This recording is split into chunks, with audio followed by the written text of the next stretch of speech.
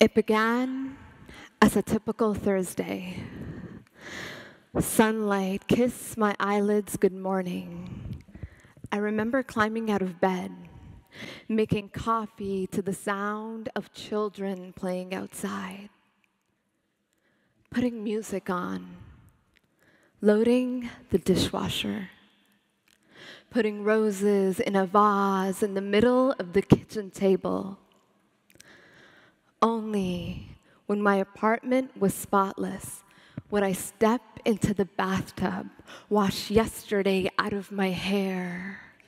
Like the walls of my home were decorated with frames, bookshelves, photos, I'd decorate myself. Hang a necklace on my chest, hook earrings in, apply lipstick like paint, sweep my hair back. Just your typical Thursday. We ended up at a get together with friends. At the end, you asked if I need a ride home, and I said yes, because our dads work for the same company, and you'd been to my place for dinner many times. But I should have known when you began to confuse kind conversation with flirtation, when you told me to let my hair down when instead of driving me home toward the bright intersection of lights and life, you took a left to the road that led nowhere.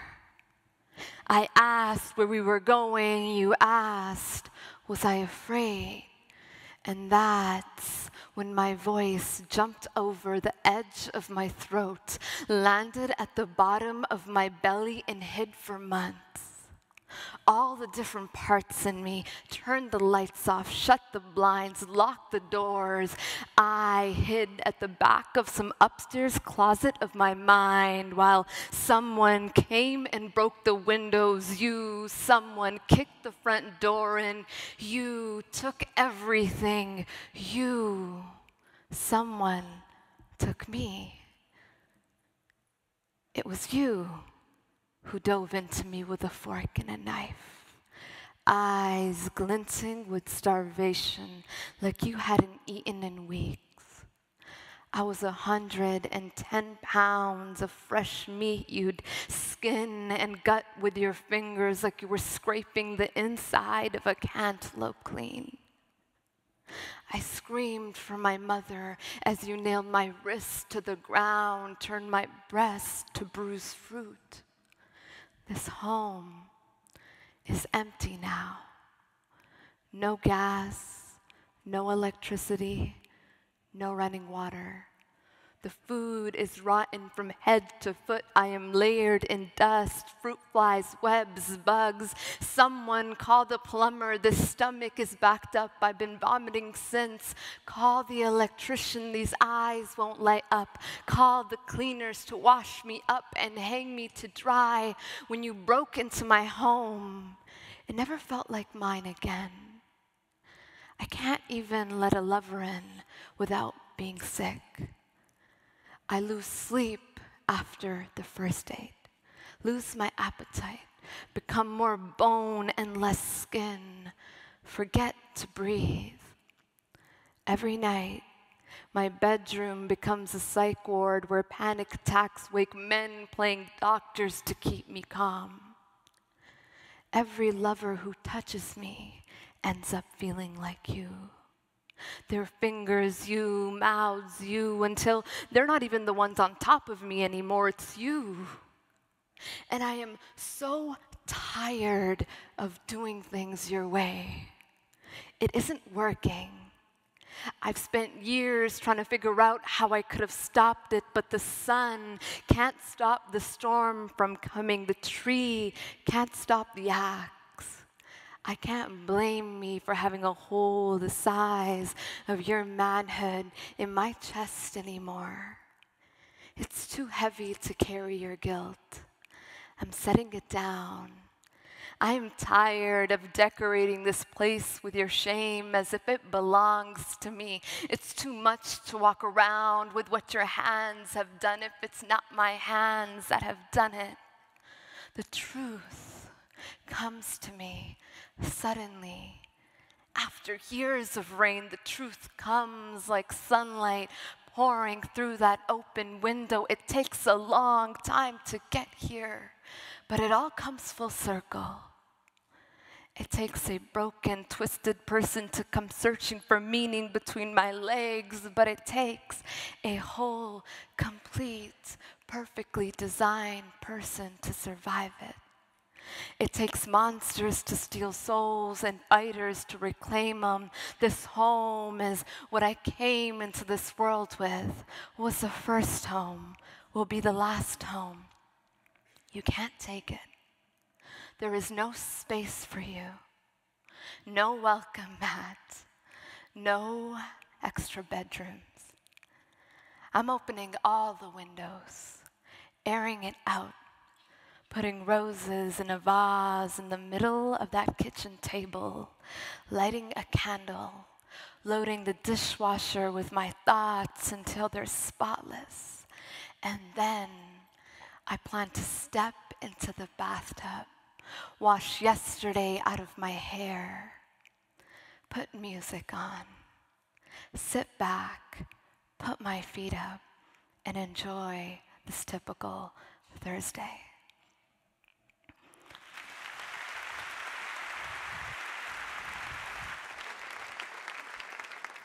So, when I first started writing years ago, it was a private hobby.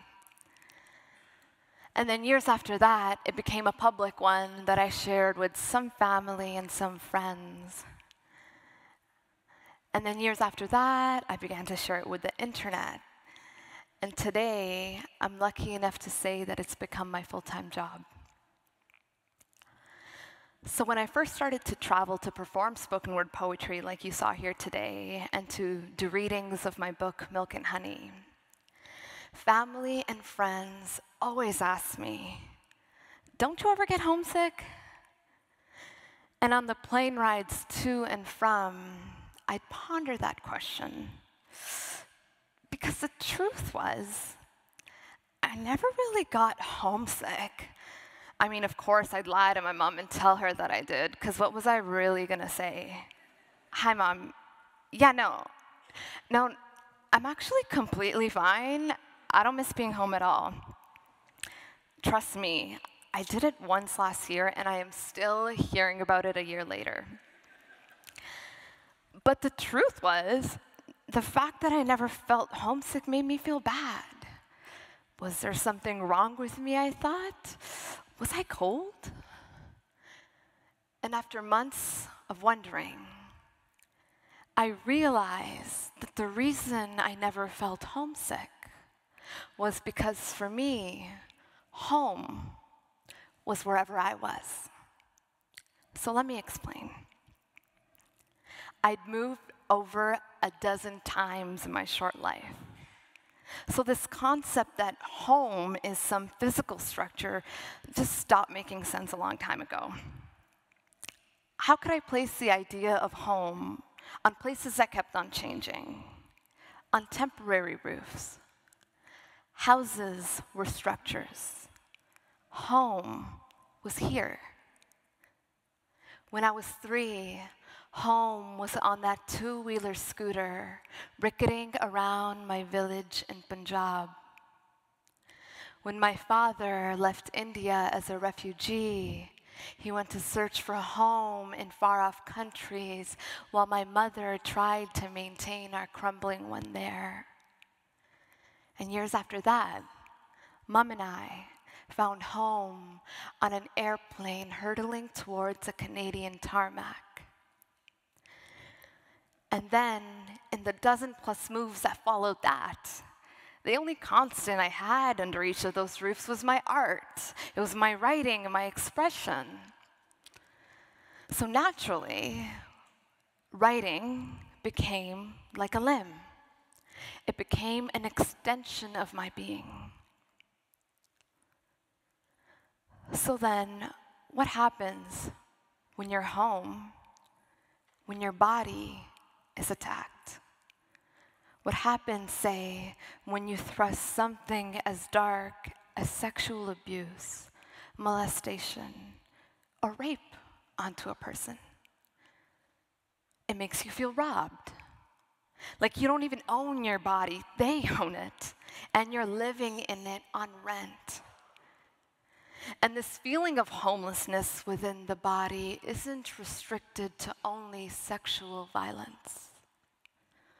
Domestic violence can make you feel just as far away from yourself. Navigating this world with a physical or a mental disability. That first treatment of chemotherapy will make you feel like your body's turned on you and you're living someplace foreign the sensation of being trapped, being born into the wrong body altogether is terrifying. The boy or girl mercilessly bullied at school and battered at home. The refugee, unwanted on the old shore and deemed a scavenging vulture in the new. So many of us are trying to reclaim our bodies from something at my lowest point, this was right before I began to take writing seriously and make it into an everyday practice. Thoughts of ending my life were constant, and attempts weren't far off. I could not stand myself. I'd walk into the bathroom and I would seriously turn the lights off. I would shower in complete darkness so I wouldn't have to stand there under the water, have to look down and see my body.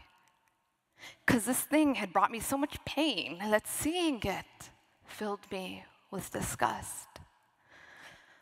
I honestly avoided mirrors like one would avoid an ex at a party. I refused to acknowledge it, look at it, appreciate it,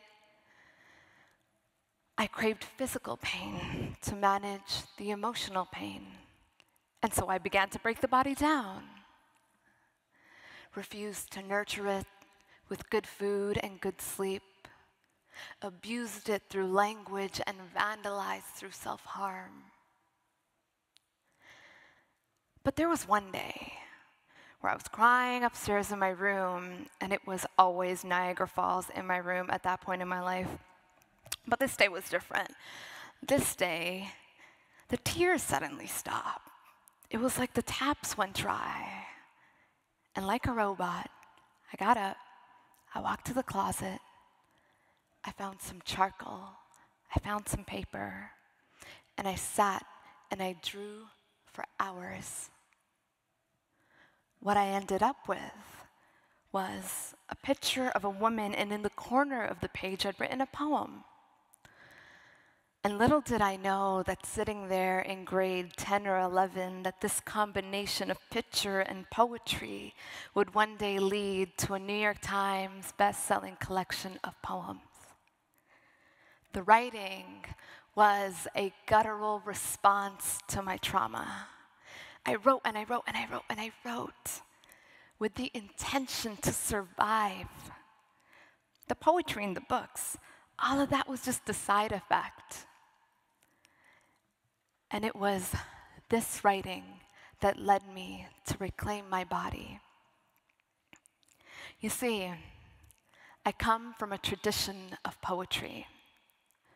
Being raised in a Sikh household, every instance of my life from birth has been informed by poetry. Sikh scriptures are written in poetic verse. It was on the lips of my mother as she rocked me to sleep was on the lips of her mother, whose own mother rocked her to sleep as they traveled on ox cart through the carnage and pillage of the South Asian partition. The poetry is Punjabi and Persian, Braj and Sanskrit. It is how millions view life in concert constructed by the languages of nomads and warriors and mystics. Even our names are picked from poems written hundreds of years ago. When I decide to marry, it will be poetry that will bond that marriage. And even when I pass, it will be poetry that will mark my departure. And so it comes as no surprise, I think, that I would use writing poetry as a means to reclaim this body, to find home here again. It was this writing of poetry that led me to find love for myself. And with that love, a path lit up.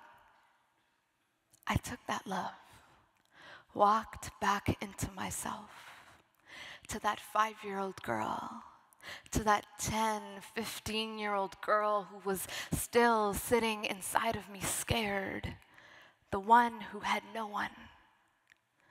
I walked over to her, picked her up, and told her it was going to be okay. We all sat in this body that day, joined together as one. And I said to all the younger versions of me, I said, You are welcome here. You have always been welcome here. This place belongs to you. Nothing was your fault. And I love you. The truth comes after years of rain. The truth comes like sunlight pouring through that open window. It takes a long time to get here, but it all comes full circle. It takes a broken, twisted person to come searching for meaning between my legs, but it takes a whole, complete, perfectly designed person to survive it. It takes monsters to steal souls and fighters to reclaim them. This home is what I came into this world with. Was the first home, will be the last home. You can't take it. There is no space for you. No welcome mat. No extra bedrooms. I'm opening all the windows, airing it out putting roses in a vase in the middle of that kitchen table, lighting a candle, loading the dishwasher with my thoughts until they're spotless. And then I plan to step into that bathtub, wash yesterday out of my hair, decorate my body in gold, put music on, sit back, put my feet up and enjoy this typical Thursday.